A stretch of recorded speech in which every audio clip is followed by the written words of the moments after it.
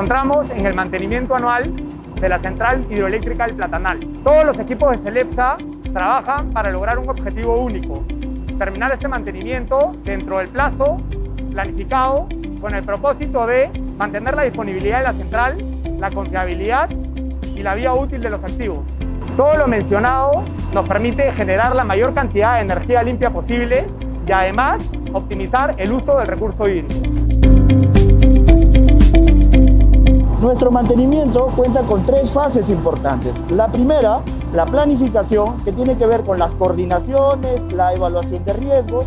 La segunda, que tiene que ver con la ejecución, la interacción con el personal técnico, con nuestros equipos, nuestros activos. La tercera fase es importante porque nos permite evaluar la eficacia y la eficiencia de nuestro plan de mantenimiento. Es decir, se cumplió con los objetivos de mantenimiento, todas esas fases nos ayudan a nosotros a poder mejorar continuamente.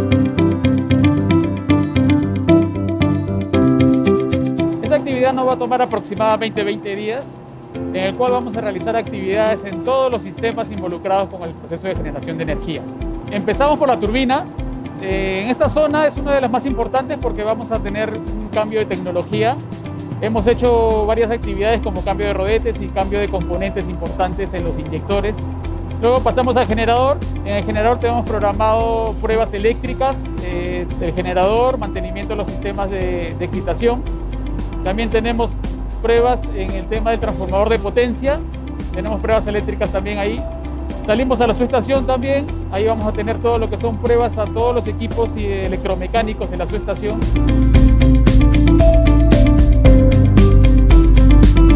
Un aspecto importante en este mantenimiento anual es que la generación no se detiene.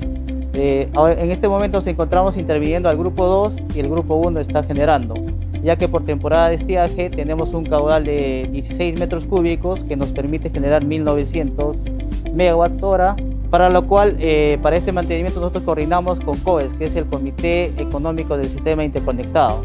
Una vez que solicitamos el mantenimiento, eh, el otro proceso es la consignación del equipo, que nuestro equipo se encarga de aislar y bloquear para la consignación del equipo de mantenimiento. Otro pilar imprescindible del mantenimiento anual es la seguridad. Para lograr que las operaciones sean seguras es importante hacer una buena planificación. Parte de la planificación es la coordinación entre áreas. No solo para lograr que los contratistas cumplan los requisitos legales y los de CELEPSA, sino para estar alertas a cualquier cambio. El equipo eh, practica los valores de la empresa, como son eh, el compromiso, la lealtad, la responsabilidad. Con eso aseguramos un eficiente cumplimiento de nuestras actividades con mucha seguridad y por supuesto para cumplir los objetivos en la operación y en la generación de energía.